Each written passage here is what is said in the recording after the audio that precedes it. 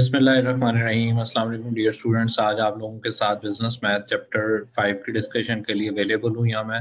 Transpose of row matrix is called column matrix any matrix A is a symmetric matrix if A is equal to A transpose the matrix four four six six is called singular matrix और इसी तरह से if the rows of and columns of a matrix are interchange the resulting matrix is transpose of a matrix इसी तरह से आपके पास है next the order of matrix two eight twelve is one by three if A determinant is equal to zero to be singular matrix इसी तरह से आपके पास है next if A is equal to one zero one one then its inverse is one minus one zero one the order of matrix one two three is three by one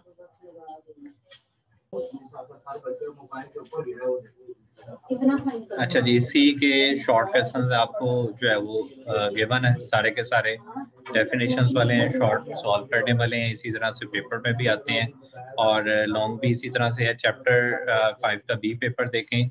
The matrix 1001 is called identity matrix. The order of matrix 1385 is 2 by 2. The order of uh, the matrix 20303 is diagonal matrix.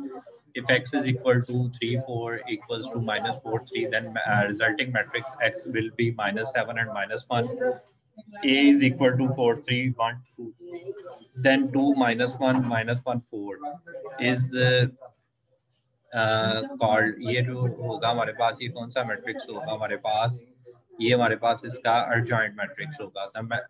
Square matrix A is said to be singular if A determinant is equal to zero if the matrix K 4 3 2 is singular, then K is equal to 6 AB whole transpose is equal to B transpose into A transpose.